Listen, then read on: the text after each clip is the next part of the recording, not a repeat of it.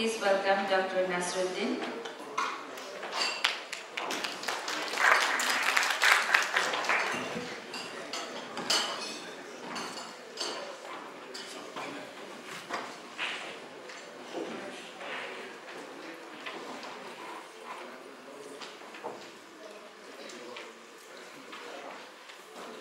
Uh, Good morning, everyone. Um, my talk is little bit different than the, uh, we will discuss, I will discuss about the uh, pathobiology of uh, some tissue injury uh, for the diseases. Uh, my research is on the hypertension, the fellow of the American Heart Association. I have been working for the last 25 years on um, uh, preeclampsia, right? Pregnancy-induced hypertension. Today, uh, my talk is on uh, oxygen-free radical and tissue injury. So we know that uh, uh, tissue injury happens with the reactive oxygen species. The, what is the oxidative stress? Oxidative stress is the imbalance between the uh, oxygen-free radical, superoxide, and the antioxidant in the body. This uh, free oxygen radical is introduced in the body either exogenously or endogenously. Exogenously, uh, it from the environment, and endogenously, uh, it is from the biochemical processes inside the body. Uh, and then I'll discuss how the uh, these oxygen-free radical, uh, one of the food supplement I extensively studied in my lab to see its scavenger or it neutralizes the oxidative stress. Uh, this is the financial disclosure. I'm the founder and CEO for two organizations and also I'm the chief medical advisor for Advanced Pharmaceutical.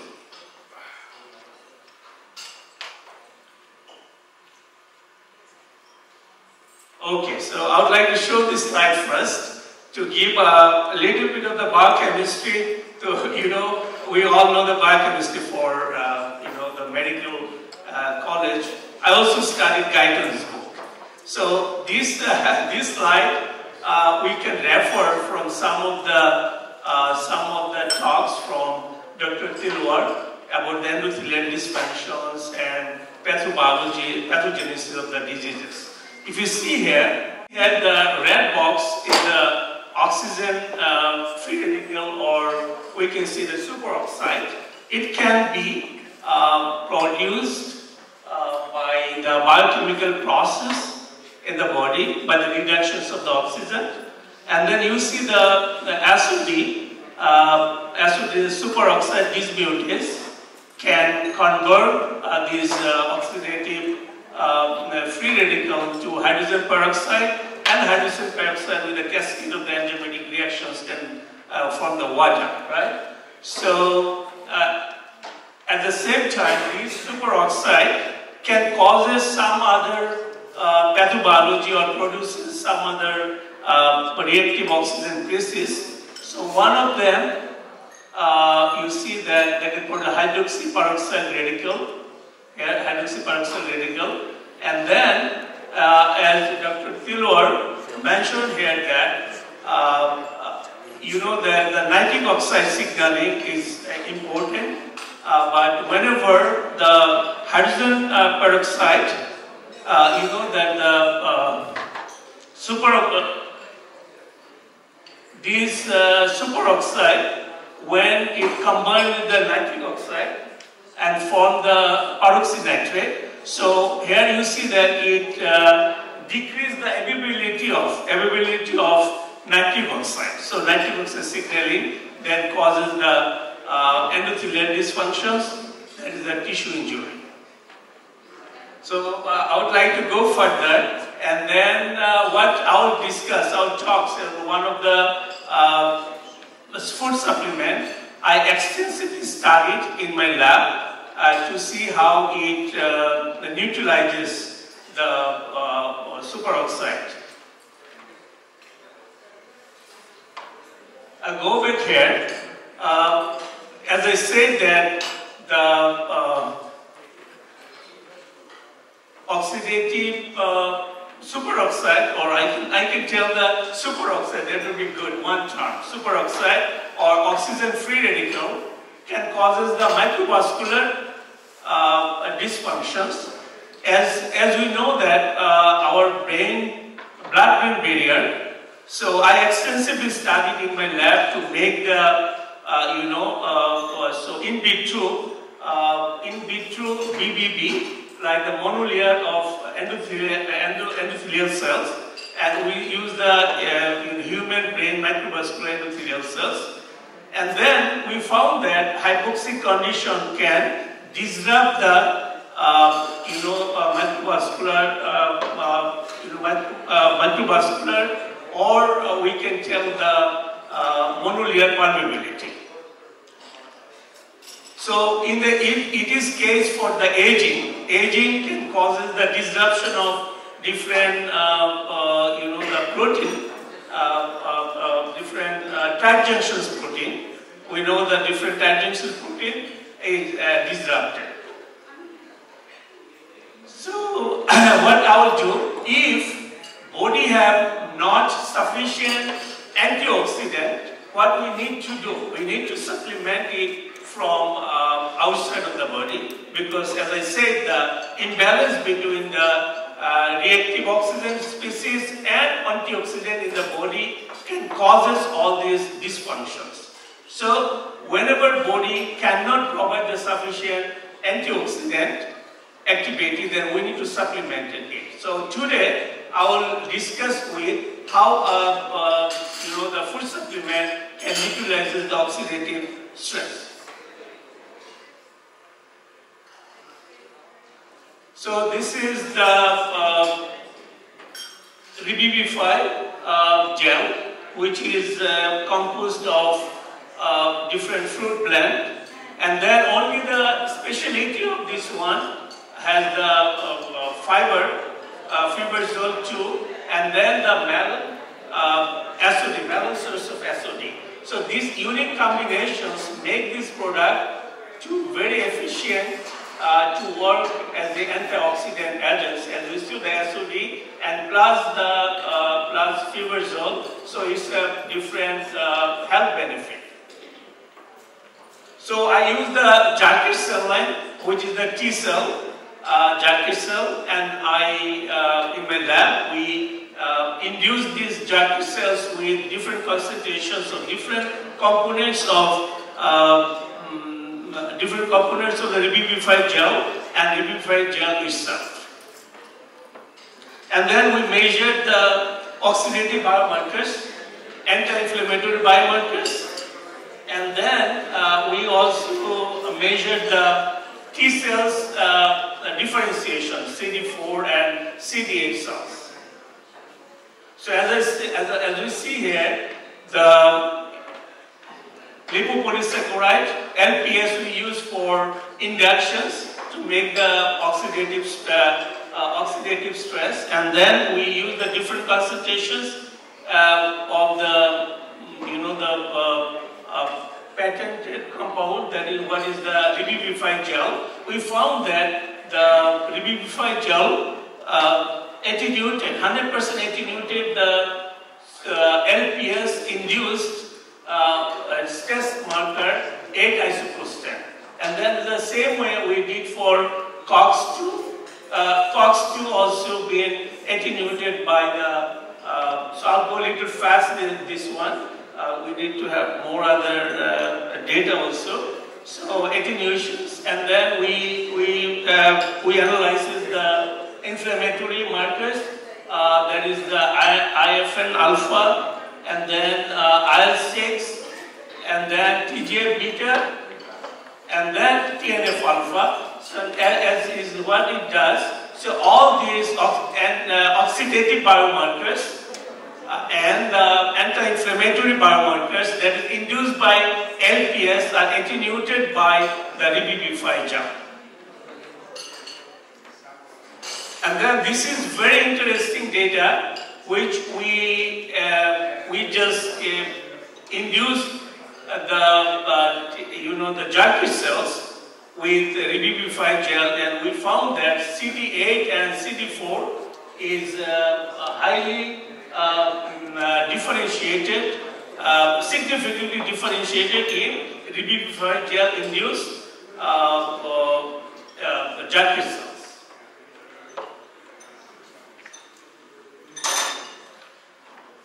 So what is the implications of this CD8 and uh, CD4? As we know that the CD8 uh, is, uh, you know, is migrate to the, when the infections is migrate to the, uh, inf you know, the inflammatory side and kill the microorganism and dead tissues and CD4 activated the, uh, you know, B cells to produce the antibody. So whenever the CD4 and CD8 ratio is 2 is to 1, uh, there, is, there is usual healthy immune system. When this uh, ratio goes down, is the impairment of the uh, immune system. And then whenever it increases, it, uh, it increases the uh, immune response. But in our study, we found that it's not the 2.1, it is around ratio is uh, uh, CD4, CD8 ratio is uh, 10 is to 1. It means that uh, it is high, but it is in the very closed system. It is a closed system and in vitro system. It may not work exactly the same way in our uh, body system. However, this is the closed system we found they are highly activated CD4 over CD8 ratios. As I said before, that we use the brain uh, microvascular endothelial cells, make the monolayer, and then we use the hypoxic conditions uh, to see that what does it happen. So uh, we have the data, which is we found that junction protein, but due to the patent uh, information, we are not disclosing. But I'm disclosing here for two of the uh, lipid peroxidation biomarker and two uh, protein biomarkers that we studied.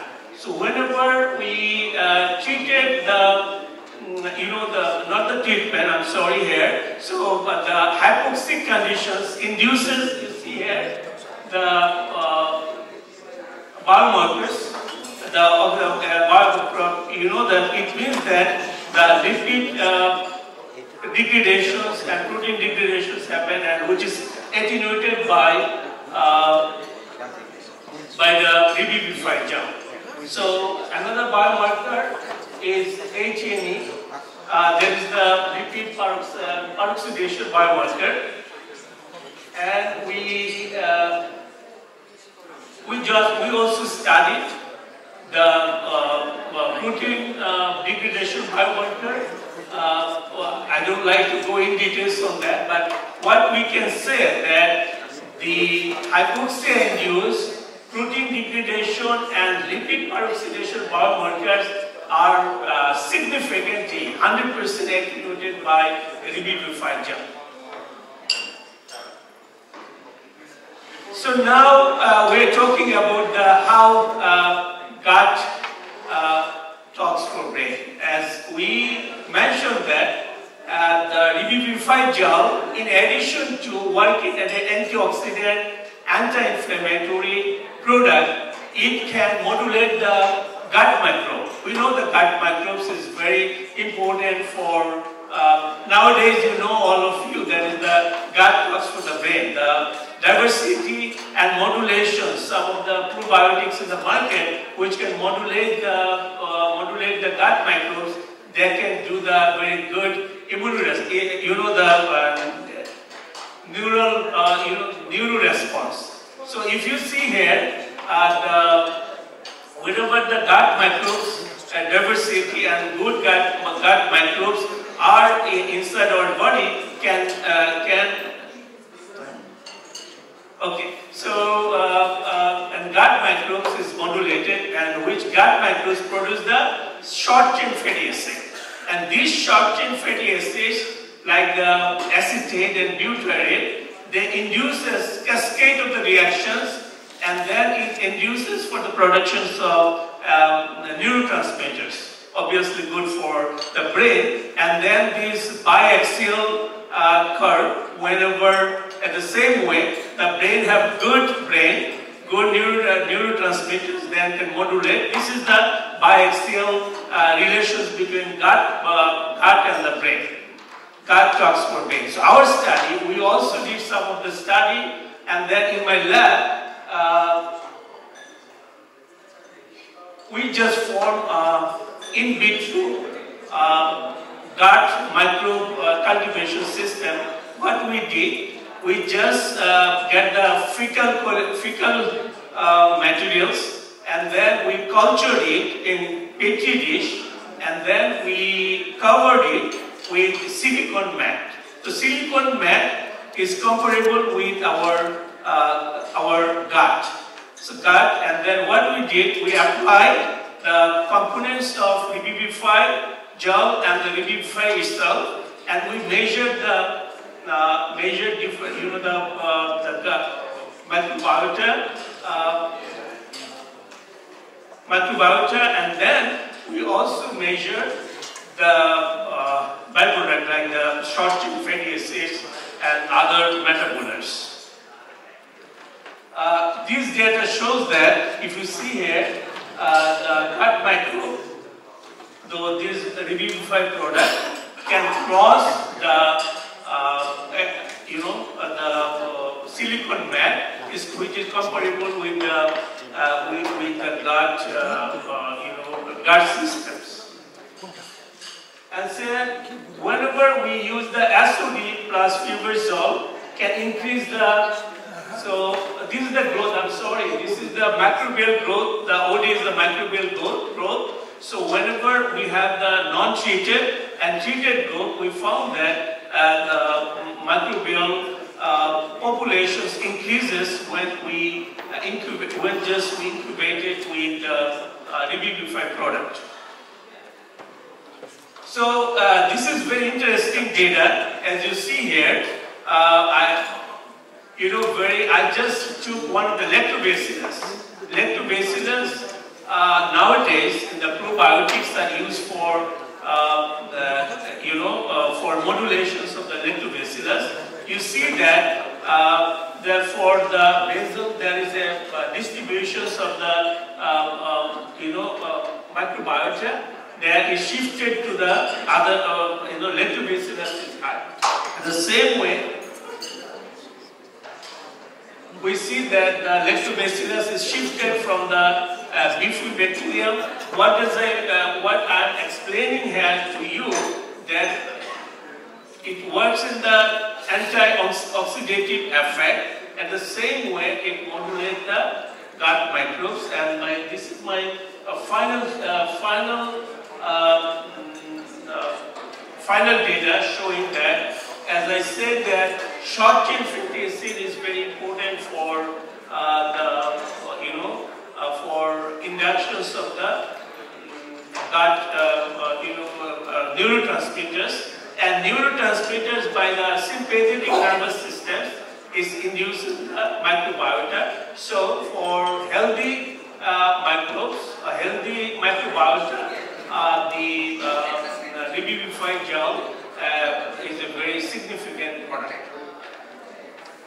And then uh, our data shows that the obviously uh, uh, the SOD is absorbed very good. We know that the SOD uh, is uh, uh, metabolized in the stomach, but it is the formulations is good. Then it go to the intestine and is is enter into the circulatory systems.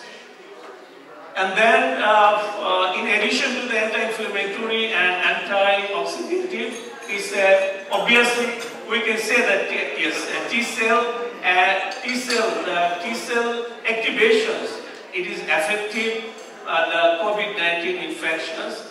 Uh, I know that there is some undocumented data showing that this Revivify product is uh, effective against the COVID infections. So that was described by our, uh, you know, the T cell differentiation study.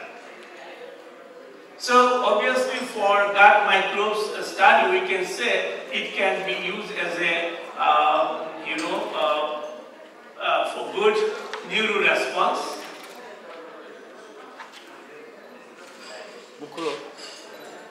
Okay, uh, that's all, I think, so this cover everything. If, uh, oh, I'm sorry, I don't have that slide, so.